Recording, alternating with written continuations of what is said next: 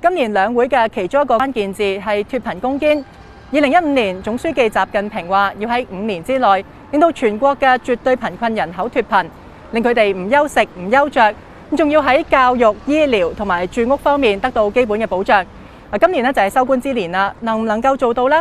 中國嘅扶貧之路又係點樣走過嚟嘅呢？隨住改革開放，出現一部分人富起來，亦都突顯出貧困人口。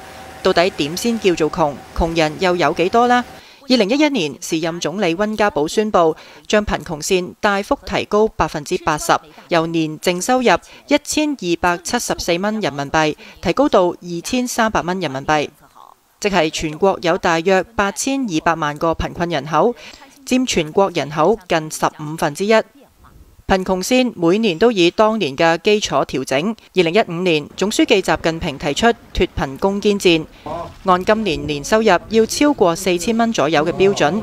截至今個月中，全國有七百八十個貧困縣已經宣布脱貧，仲剩翻五十二個貧困縣同埋一千幾條村，由中央掛牌督戰。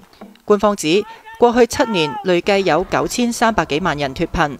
要喺五年之内完成呢一个脱贫攻坚任务，用嘅方式咧，亦都唔可以单靠补贴，又或者系传统嘅支援生产发展。搬家咯！易地搬迁就系其中一个扶贫方式，将天然环境恶劣嘅贫困村搬到去平原或者系城镇发展。仲有对口帮扶，由企业或者城市承包起一个县嘅扶贫项目。我有这个善心，你也不要觉得我们钱就是我自己印出来的。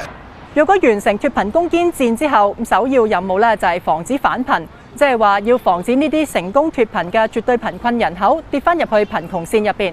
啊之後咧就係透過鄉村振興嚟到處理相對貧窮嘅問題。有線電視記者黃慧如北京報導。